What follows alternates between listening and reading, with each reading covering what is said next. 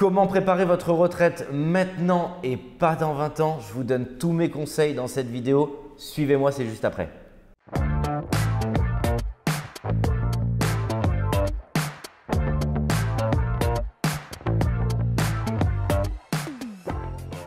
Bonjour à tous, je m'appelle Mickaël Zonta, je suis le cofondateur de la société investissementlocatif.com. On accompagne des centaines d'investisseurs, plus de 500 opérations cette année à l'heure où je tourne cette vidéo, dans des opérations toujours plus rentables, quasiment partout en France, puisqu'on est dans plus d'une quinzaine de villes et qu'on est capable de vous accompagner dans beaucoup, beaucoup de régions. Je suis également l'auteur de ce best-seller. Un grand merci parce qu'on en a vendu des milliers. Vive l'immobilier et vive la rente où je vous dis mes meilleurs conseils, mon parcours, comment est-ce qu'on a fait avec Manuel pour débuter euh, bah, juste avec 5000 euros il y a 8 ans de ça et aujourd'hui pouvoir tourner cette vidéo dans ce lieu idyllique? Puisqu'on tourne cette vidéo, il y a une chose bizarre que vous devez voir, col roulé, piscine. On est aujourd'hui à Paris, une des plus belles villes du monde et je me trouve dans le loft de Manuel puisqu'il vient de faire cette acquisition pour y vivre avec sa famille en résidence principal et l'immobilier, c'est aussi fait pour ça. C'est fait pour se faire plaisir et pouvoir investir dans des très très beaux actifs comme celui-ci avec piscine intérieure. Il est vraiment fabuleux. Je voudrais qu'on parle de la retraite parce que si vous nous suivez, vous le savez, que vous ayez 20 ans, 30 ans, 40 ans, 50 ans, 55 ans, 60 ans, la retraite, ça se prépare maintenant, aujourd'hui et ça ne se préparera pas deux jours avant de partir à la retraite où généralement, euh, c'est souvent ce qu'on entend, vous voyez la feuille, vous voyez le montant que vous allez toucher à la retraite et là, c'est la soupe à la grimace et donc, il faut que vous puissiez la préparer avant. La préparer avant, c'est ici que ça se passe. Écoutez-moi bien, c'est ici, c'est pas ailleurs. C'est pas directement tout de suite là maintenant dans le porte-monnaie que ça se passe. Et pourquoi c'est pas dans le porte-monnaie que la retraite ça se prépare et ça se passe et c'est ici? Parce que c'est par l'éducation financière. Si vous regardez cette vidéo, c'est que vous avez envie de progresser justement sur votre éducation financière. Si vous tombez par hasard sur cette vidéo, c'est que vous avez envie de dire mais qu'est-ce que l'éducation financière? Et c'est ici ça se passe puisque le gros enrichissement dans l'immobilier, c'est d'utiliser l'effet de levier de la banque et ce n'est pas d'utiliser l'argent cash que vous avez à l'instant T pour votre retraite. Il y a une partie que vous pouvez mettre en apport personnel, mais vraiment le dessous de l'iceberg, ça va être l'effet de levier que vous allez pouvoir mettre. Et je voudrais qu'on parle retraite parce que ce sujet de la retraite, on en parlait euh, il y a 15 ans, euh, il y avait déjà énormément de manifestations puisque le sujet de la retraite, c'était déjà il y a 15 ans sur les régimes spéciaux. Et on est dans la conjoncture actuelle où bah, les jeunes font des études de plus en plus longtemps, donc rentrent sur le marché du travail euh, plus tard. Vous avez une espérance de vie, c'est une super nouvelle, bah, qui s'allonge, vous vivez plus longtemps. Et en même temps, on a ce deux facteurs, on dit bah, on doit travailler plus longtemps et on va toucher moins. Il y a plein de gens qui prônent et qui disent euh, J'entends, je veux une retraite par euh, capitalisation, euh, je veux plus du régime universel. Alors, sans rentrer dans la technique, mais je pense que tout le monde doit avoir ses grands ordres de grandeur. Par capitalisation, ça veut dire je fais ma propre retraite, je ne veux pas cotiser sur le système universel. Et à l'inverse, le système universel, c'est je cotise dans un pot commun qui va pouvoir servir à tout le monde. Mais pour ceux qui veulent la retraite par capitalisation, c'est exactement ce que vous voyez aujourd'hui, c'est l'immobilier. C'est ça la retraite par capitalisation.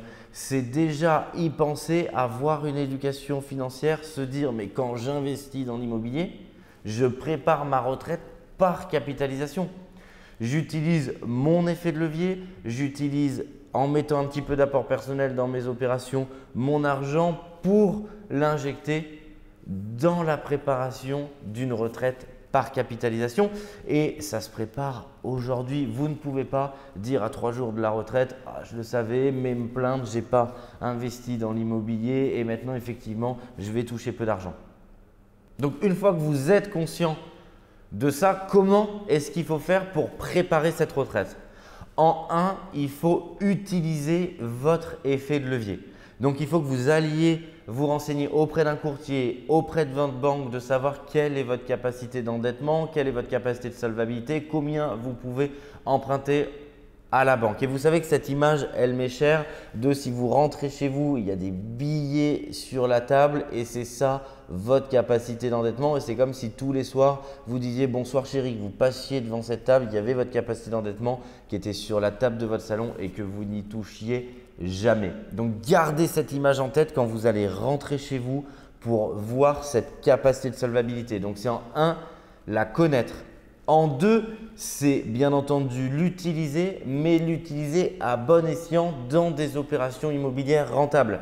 Si vous utilisez un effet de levier dans quelque chose qui n'est pas rentable ou dans quelque chose qui va vous générer un gros cash flow négatif, par exemple un Pinel où vous allez devoir compléter sans cesse dans un marché qui n'est pas forcément liquide. Donc qu'est-ce que c'est la liquidité? C'est le fait de pouvoir sortir d'un bien rapidement quand vous décidez de le vendre et c'est très important.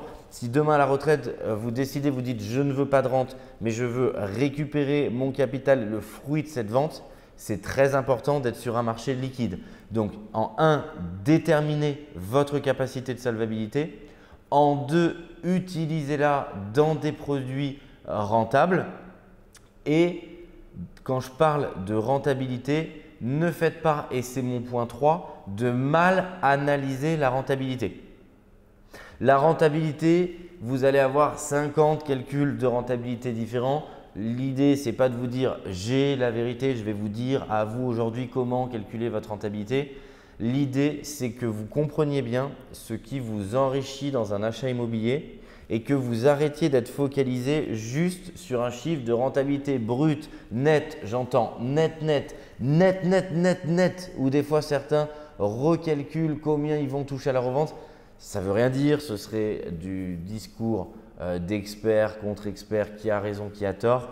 Ce qu'il faut juste que vous compreniez, c'est que dans l'enrichissement dans l'immobilier, vous avez le dessus de l'iceberg et on appelle ça généralement le cash flow ou l'opération blanche, c'est-à-dire j'ai aucun effort à faire, ça se compense, je rembourse, je suis flat, ça s'équilibre ou j'ai un cash flow mais ce n'est pas le plus gros bloc d'enrichissement puisque le plus gros bloc d'enrichissement sur l'iceberg, c'est le dessous. C'est ce qu'il y a sous cette piscine, c'est l'amortissement du bien. Je demandais à Manuel juste avant, on discutait, et je lui disais combien est-ce que tu rembourses tous les mois euh, pour euh, rembourser l'emprunt bancaire que tu as fait sur ce loft? il me disait je rembourse 7300 euros euh, de remboursement mensuel. Et je lui disais, c'est ça qui est intéressant, ce n'est pas le montant, il pourrait rembourser 20 000, il pourrait rembourser 500 euros, ce n'est pas le montant qui est important, c'est la question d'après. Et c'est ça qui est important, je lui disais, après les intérêts, combien est-ce que tu rembourses? Et c'était environ 5 500 euros pour que vous ayez un d'idée d'amortissement du bien, puisque le reste, ce sont les intérêts que va prendre la banque. Quid des intérêts? 0,8% sur 20 ans. Donc globalement, euh, extrêmement flat. Ça veut dire que tous les mois, il s'enrichit de 5500 euros. C'est gigantesque. Mais encore une fois, ce n'est pas le montant en valeur. Il pourrait s'enrichir d'un million d'euros par mois, de 500 euros par mois. Ce qu'il faut que vous reteniez, c'est que l'enrichissement, quand vous achetez un bien, que vous remboursez 1000 euros, il y a peut-être 200 euros d'intérêt, ça veut dire que vous vous enrichissez de 800 euros. C'est ça préparer sa retraite par capitalisation en 2020. Et c'est ce point-là qu'il faut que vous compreniez. En un, combien vous pouvez emprunter? En deux, mettre cet emprunt, cet effet de levier dans des opérations rentables. Et en trois, c'est bien comprendre votre enrichissement et pas penser que vous enrichissez que de 50 euros par mois par le cash flow parce que c'est faux et c'est ça l'éducation financière. Et si vous devez retenir une seule chose de cette vidéo, j'aimerais vraiment que vous reteniez ça aujourd'hui parce que c'est ça qui va vous permettre, les entrepreneurs de l'immobilier, de développer méchamment votre retraite dès 2020. Prenez des résolutions, prenez des bonnes résolutions pour vous, pour votre avenir et pour vos enfants. Je vous dis à très bientôt pour d'autres conseils dans d'autres vidéos. N'hésitez pas à cliquer sur le bouton s'abonner pour que vous puissiez suivre l'intégralité et la petite cloche notification pour recevoir l'intégralité en temps réel de nos conseils et des futures vidéos. Et je vous dis à très bientôt dans d'autres vidéos. Et plus que jamais, bienvenue dans le monde de l'immobilier rentable.